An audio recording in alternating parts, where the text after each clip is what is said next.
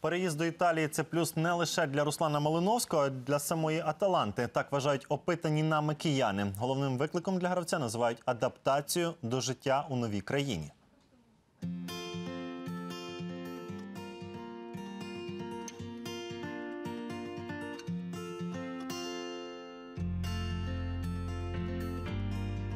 Центр столиці, старовинна київська вулиця, офісні приміщення. Та серед усіх вирізняється ось ця будівля, це посольство Італії в Україні. І тут такий собі осередок людей, що живуть в Італії, що подорожують Апенінами. І про те, що відомий українець відтепер гратиме в Італії, знає кожен за цими дверима.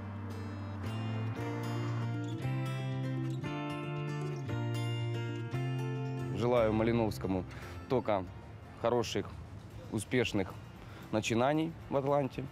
Я надеюсь, что он действительно покажет себя с лучшей стороны и докажет, что украинский футбол и украинские футболисты, молодые, перспективные, ну, будут показывать соответственный, классный и хороший футбол. Там он будет развиваться, он в Лиге Чемпионов хотя бы сыграет. Может, далеко куда-то пробьется, еще и топ-клуб какой-то. Таланта на ходу сейчас там. Гомес там же, кстати, с металлистом. Какой был металлист, да, такой. Ну, нормально, что. Ну, лучший вариант из тех, которые могли быть. Атланта — это хороший клуб. Один из топ уже. Перш за все, це серйозний крок для самого Руслана. Чому? Тому що Таланта найбільш атакуюча, забиваюча команда в Італії, і вони попали в Лігу чемпіонів не просто так. Тепер цей шлях вони будуть долати разом. І такий гравець це також великий плюс для Атланти, тому що якраз такого маестро в центрі поля їм не вистачало. Як пірло. Е, більше Руй Кошта, мені здається. Найбільша дуель це буде е, для самого Руслана.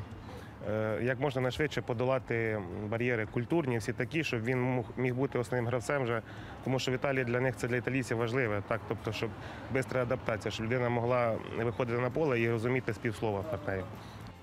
Сьогодні тут без черг і метушні, але вже завтра вируватиме справжній італійський гамір. Розпочнуться прийомні години, і серед усіх зможе отримати свою довгострокову робочу візу і Руслан Малиновський.